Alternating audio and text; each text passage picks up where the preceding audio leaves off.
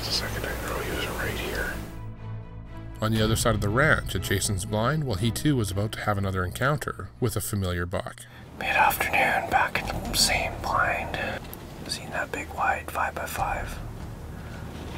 Yesterday evening, just couldn't get a shot. I couldn't get. Just didn't work out. The wind's not real great. Most of the deer come, are coming from this side, but got it on The ozonics pointed down. Wind's blowing straight kind of that way.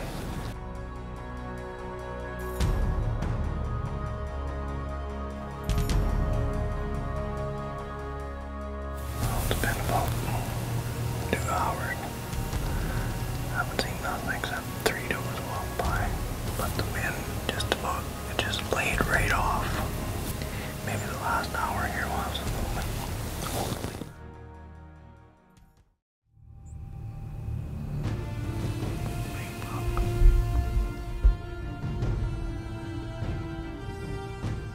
Jason's long beam 5x5 was back and working his way closer.